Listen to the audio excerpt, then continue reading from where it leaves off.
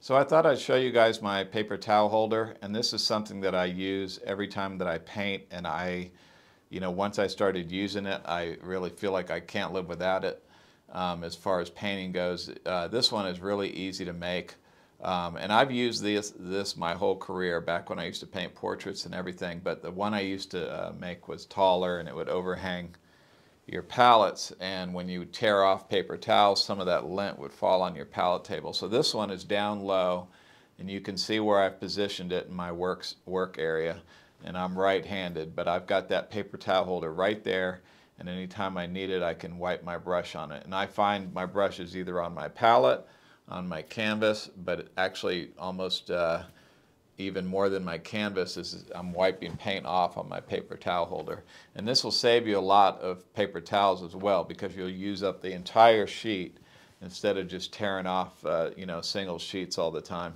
or having something across your leg that you're wiping your uh, uh, brush on. So I, I, really love this and I've put all the dimensions in. I've just made this out of 2 by 4s um, but you can kind of figure it out for yourself. The width of that front board is um, enough to you know handle a regular paper towel roll and then I've got two slots that the paper towel runs through.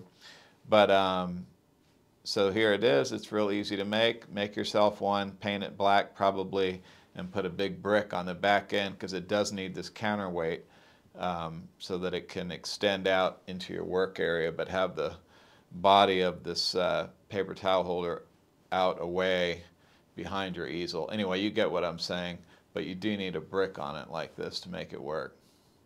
So there it is, and I hope you guys uh, will find this helpful, and I certainly love painting with my paper towel holder.